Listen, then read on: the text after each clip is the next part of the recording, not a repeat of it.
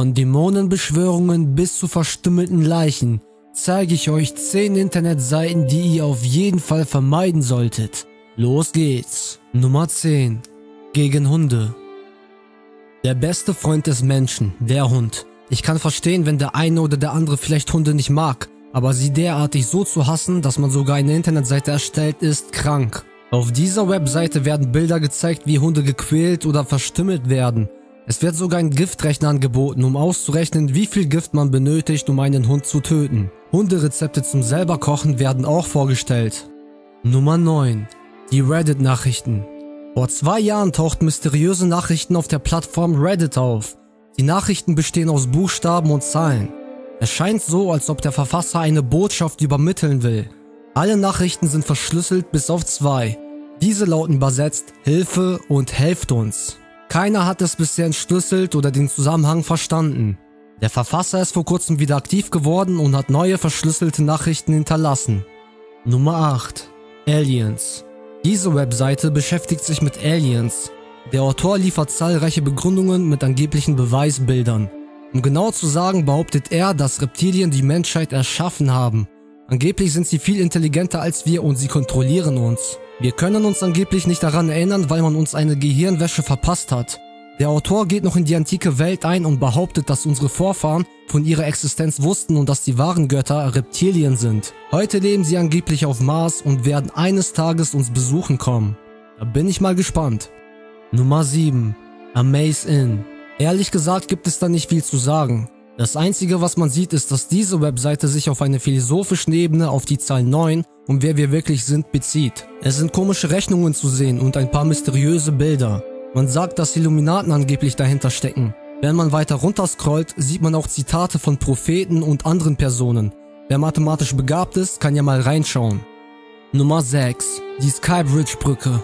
Diese Brücke liegt an der Westküste von Florida und ist auch bekannt als eine selbstmordaktive Brücke. Jährlich springen dort Dutzende Menschen in den Tod. Diese Webseite listet Berichte auf, die bis zu 60 Jahre zurückführen. Dort kann man nachlesen, ob eine betroffene Person gerettet wurde oder in den Tod gesprungen ist. Die Statistik wird ständig aktualisiert und auch in diesem Jahr gab es Tote oder versuchte Selbstmorde. Nummer 5. Texas Death Row Habt ihr euch mal gefragt, was die letzten Worte sind von jemandem, der kurz davor ist zu sterben? Nun, auf dieser Webseite könnt ihr genau das nachlesen. Es sind die letzten Worte von Verbrechern, die im Todestrakt sitzen. Das Gefängnis liegt in Texas und verschafft einen kurzen Einblick in die letzten Gedanken eines Mörders. Die Seite wird ständig aktualisiert. Es ist schon unheimlich, was für Statements es da gibt. Der eine bereut seine Schuld, der andere zeigt sein wahres Gesicht und ist stolz drauf, was er getan hat andere wiederum behaupten, sie wären unschuldig. Nummer 4. Flugzeugabstürze. Auf dieser Internetseite sind fast alle Flugzeugabstürze der letzten 50 Jahre aufgelistet. Das Schreckliche daran ist, dass dort die letzten Tonaufnahmen des Cockpits als Audiodateien hochgeladen wurden. Man hört Liebesgeständnisse, Schreie oder Abschiedssätze von Piloten. Manche Dialoge können nachgelesen werden, wie vom Flug 93, das am 11. September abgestürzt ist. Nummer 3. Satanismus. Diese kranke Webseite zeigt eine Anleitung, wie man Dämonen beschwört. Der Teufel wird da schön geredet und junge Leute werden von der Internetsekte dazu animiert beizutreten.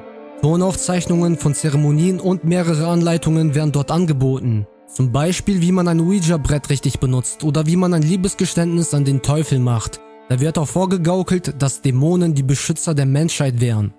Nummer 2. Die toten Engel. Auf dieser Webseite kann man sich ein Fotoalbum erstellen und Digitalbilder hochladen.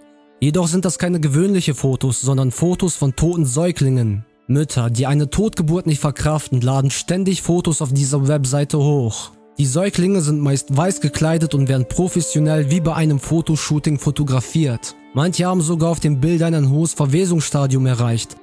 Und die Nummer 1.